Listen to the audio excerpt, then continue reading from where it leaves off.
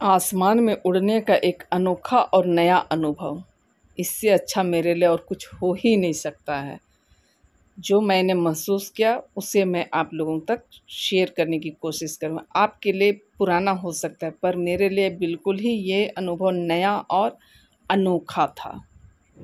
तो कह सकते हैं कि जिन बादलों को नीचे धरती से अंगुली उठा करके आसमान की ओर नज़रें करके जब हम कहते वो बादल है और हवाई जहाज़ की यात्रा करते हुए ऐसा लग रहा था, उन बादलों को अपने आगोश में समेटे हुए हैं। तो कुछ ऐसा अनुभव था जी मेरा, ठीक है ना? और आप लोगों में से कितने लोग हैं जो कि इससे मतलब अच्छी तरह से जानते हैं? पर मैं बताते हुए थक नहीं रही हाँ। सही है।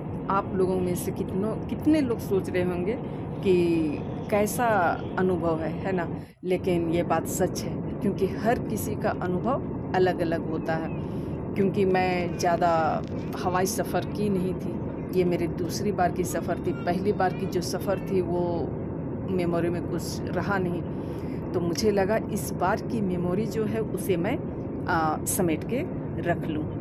ताकि ये हमेशा के लिए फिर दोबारा मैं सफ़र कर सकूँ, ना कर सकूँ। तो कम से कम ये यादें मेरे साथ रहेंगी जिससे कि मैं देख सकती हूँ, महसूस कर सकती हूँ उस चीज़ को, है ना? तो इतने खूबसूरत नज़ारे थे जो बादलों में से होकर गुजर रहे थे। ऐसा लग रहा था कि बादलों, अगर शीशा लगा हुआ नहीं रहता तो ज़रूर हाथ निकाल के पकड़ने की कोशिश करते। अब खूबसूरत बादल के नीले और सफ़ेद रंग जो है, एकदम अलग ही लग रहे थे। और हवाई जहाज़ के जो पंखे निकले, पंखे नहीं, वो जो निकला हुआ दिखाई पड़ रहा है, वो ऊपर नीचे होता हुआ बड़ा ही खूबसूरत लग रहा था। तो कुछ ऐसा रहा जी, मेरा ये अनुभव। है ना? क्या करें? क्योंकि किस्मत ही कुछ ऐसी है। पर अपने किस्मत को कोसना नहीं चाहिए हम्म, क्योंकि जब किस्मत खुलता है तभी कुछ हो पाता है। तो कुछ ऐसा ही आप लोग समझिए मेरी किस्मत खुल गई थी कि ये इस सुंदर नज़ारे को मैंने देख पाया और इस सफ़र में को मैं आप लोगों तक शेयर कर पा रही हूँ ठीक है? और ये जो है वो काफ़ी दिन हो चुके हैं जब मैं जयपुर जा रही थी, उस समय का मेमोरीज रखे हुए थे।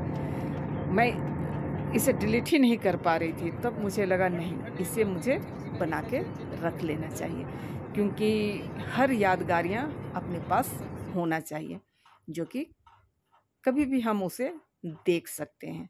ठीक है ना? तो चलिए, आप लोग बने रहिए और इस खूबसूरती का मेरे साथ साथ आप लोग भी आनंद लीजिए। क्योंकि जो लोग हमेशा सफ़र करते हैं, उन्हें तो मेरी इन बातों पे बेवकूफ़ी पना लग रहा होगा। लेकिन मेरे जैसे कई लोग होंगे, जिन्हें इस, इसका अनुभव ही नहीं मिला होगा। तो कम से कम मेरे वीडियो से ही सही, देख तो पाएँगे, उस अनुभव को महसूस कर पाएँगे। ठीक है ना? चलिए आप लोग बने रहिए। ठीक है ना?